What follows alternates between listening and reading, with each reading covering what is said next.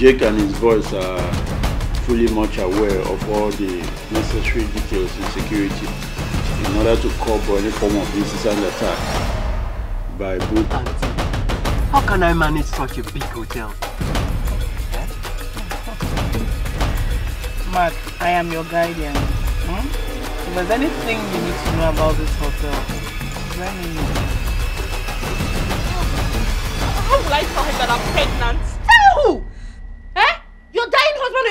Or your chewing gum boyfriend?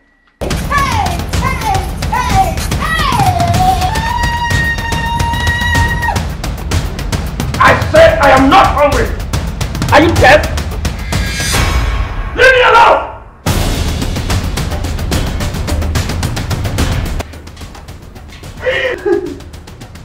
Just taking a look at my life, Lord.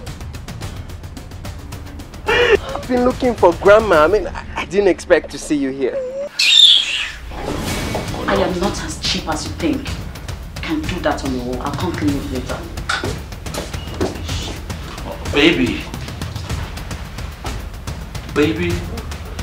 Oh. No, no, it's not Mama. Uh, I've been calling your number, no response. If you do that again, I will cancel my reservations in this hotel and cancel this suit. You did. No, I don't take shit for sorry.